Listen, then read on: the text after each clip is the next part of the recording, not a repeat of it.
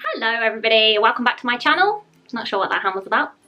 Welcome back to my channel and hello and welcome if it is your first time here. Really nice to have you with us. If you've just happened upon this video and you have no idea who the face staring back at you is, my name's Georgie. I've been working in the West End and in shows in London for the past eight years and I thought I'd start this little channel to chat about theatre and give you guys some tips and little bits of insider info because I feel like I've acquired enough information about auditions now to sink a ship. I've done probably over a hundred auditions at least in my time so I feel like I'm maybe qualified's a bit of a stretch. I know what I'm talking about when it comes to musical theatre auditions. Today I'm going to be sharing with you my top 10 audition songs to avoid. Like, do not touch them with a barge pole. Before we get into the video, do not forget to subscribe to my YouTube channel if you haven't already for more videos like this one, lots of tips and insider info on auditions for the West End and musical theatre. Hit the subscribe button, turn your notification bell on. Also, if you enjoy the video, give it a thumbs up so that I know. So if you want to find out what top 10 audition songs to avoid,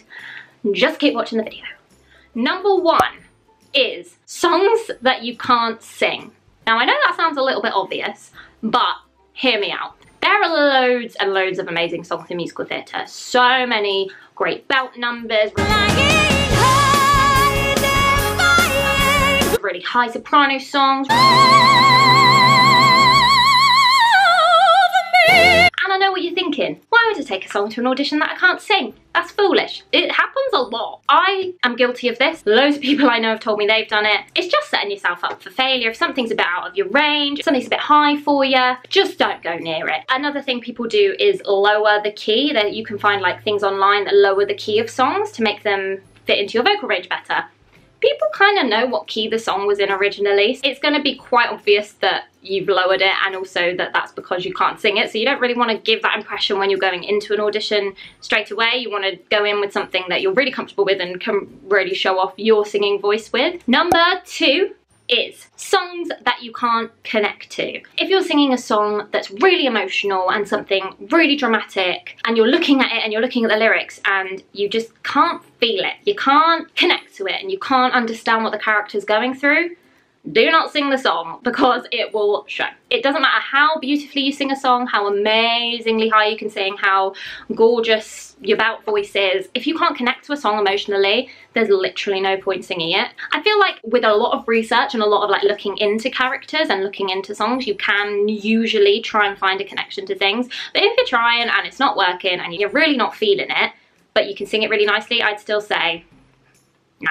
Number three is songs that are hard to play. And this one's for your pianist. Auditions are a very quick turnaround. They're very, very fast paced normally, especially when you're going in for a first round where you're taking in a song that is your own and the pianist may not know. They probably do, but they won't have had time to look over it. Don't take something that is really, really hard for them to play. For example, something like Jason Robert Brown, Sondheim, things like that. Really quite tricky to play. Ever heard what just followed by a honeymoon where suddenly he'll realize he's saddled with a nut and want to kill me, which is... Thankfully, in most auditions, the pianists are absolutely glorious. They're all so, so talented but it's really a big ask to just go in, meet someone, be like, hi, how are you? Can you please play this 10 page Sondheim song for me with no preparation? Be kind to your pianist. They're gonna have to play for a lot of people that day. They're ultimately there to help you. Also make sure you go through the song properly with the pianist before you start singing, but more on that in an upcoming video. Number four is songs that fail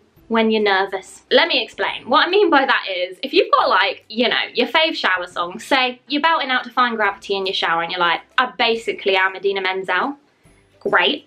Mm. but if you then have practiced this song in a more kind of stressful environment or in front of people and it's gone not quite as good as it did in the shower, don't sing it. In my experience, when you get into the audition, the song is probably going to go more how it did in front of people in the stressful situation than it did in the shower. So I would steer clear of singing it in front of an audition panel until you are 100% comfortable with said song. Number five is a brand new song. If you have had an audition through and you don't have the perfect song for it and you think, ah, need to find something, and you go through your rep and or go through all your songs and you find the perfect song, but your audition's tomorrow and you have no idea how the melody goes, you don't know the words, nothing, do not sing it. It is a recipe for disaster. Sing something that you know super, super well. That is the most important thing because when nerves come into play and when you're in a different environment and you're slightly uncomfortable and on edge, you need something that you know like the back of your hand. I don't know why people say like know like the back of your hand. I don't think I'd be able to pick the back of my hand out of lineup. Anyway, always sing something that you are so comfortable with. You could recite the words standing on your head, knitting a jumper. Do not take in a new song that you don't know the words to. It's just not a good idea. Number six is a song that you don't understand. If you're learning a new song or singing a song, you're just having a nice sing and you're kind of thinking, yeah, his voice sounds, voice sounds really good today. And then you think about what you're singing and you're like, I have no idea what this means. Don't sing it.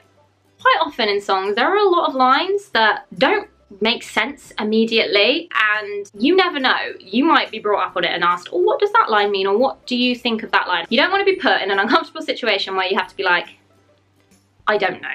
If you're singing a song and you think to yourself I don't really know what this is about or even just a line if you don't know what a line is about find out. But if you really don't know don't sing the song. There is no point singing something you don't understand because it will come across in your performance. It's so, so obvious when people sing about things that they don't understand. Or if even just a line that's got a word in that you don't know what it means, find out before you go to the audition. You don't want to look stupid and you don't want to be asked a question that you don't know the answer to. Number seven is songs with an awkward instrumental break. So you know you have those lovely songs, really beautiful melody, really great story, everything like that, and you're singing, singing, singing, telling this wonderful story, and then there's like six counts of eight instrumental, and you just stood there trying to act, wanting the ground to swallow you. Stay clear of those songs. It is uncomfortable enough doing an audition and going in there and putting yourself out there. You don't want to put yourself under extra pressure to come up with the goods. I've heard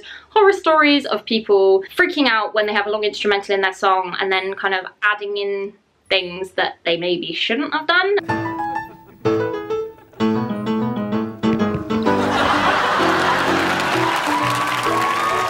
Clear of songs with a long instrumental break because ultimately the audition panel want to hear you sing. They've asked you to prepare a song. They haven't asked you to come in and stand staring off wistfully into the distance. Stay clear of songs with long instrumentals. It just adds on time for everyone and is ultimately really uncomfortable for you. Number eight is songs with lots of cuts. This is so important because at the beginning of your audition, you're gonna go over to the pianist, have a chat, show them, you know, a cut in your music, show them the tempo and things like that. If you've got a million cuts, A, you're gonna be there for ages at the beginning talking to the pianist. B, it's going to be really difficult for the pianist, especially if they're awkward cuts. I don't mind a little cut here and there. A cut's fine. We need cuts, but not lots of awkward cuts at weird points in the song. It's just going to be super difficult for the pianist. They're going to be rummaging around with all the bits of paper. It's just much better to avoid cuts as much as you can. Obviously, there are exceptions and a few cuts is fine, but just make sure they're in appropriate places and there's not too many scattered around. Number 10. This is future Georgie here. Uh, it's This is number 9 and I apparently can't count.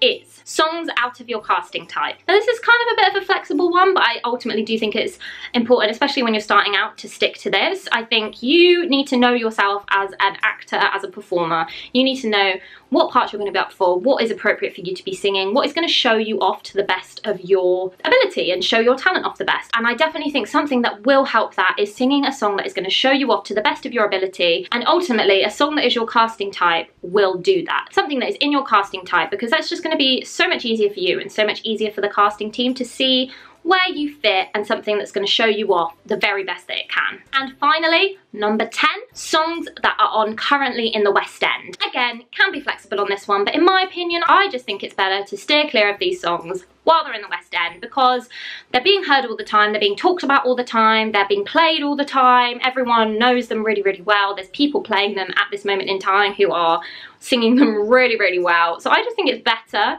to leave them to it sing something else. There's so much great stuff out there as well. Then you're not going to be singing something that everybody's singing because people probably will gravitate towards those songs because they're hearing them all of the time. So if you sing something different, that's ultimately going to make you different and stand out. There you go. Don't say I never give you nothing. There's so much great musical theatre out there. There's so many great songs out there. So you don't need to sing songs that are on in the West End currently if you don't have to. So there you go. Those are my top 10 audition songs to avoid. I hope that you found this video helpful. Please let me know if you did. I'd love to hear your opinion. So please leave me a comment down below sharing with me if you have ever made any of these audition song mistakes. And also if you have any more to add to the list because I'm sure there's some I've missed. If you enjoyed the video, please give it a thumbs up so that I know and subscribe to my YouTube channel for loads more videos like this one. I'm thinking there's going to be a bit of a series coming up, so watch this space. Also, if you want to follow me on my other social media platforms, I have Instagram, I have Twitter, I've got it all. Follow me over there. I love me a bit of social media, so I'm always on them, always keeping up to date with the more personal side of my life, if you care about that. I really hope you enjoyed this video. I hope you have a lovely rest of the day, and I'll see you again in the next one. Bye!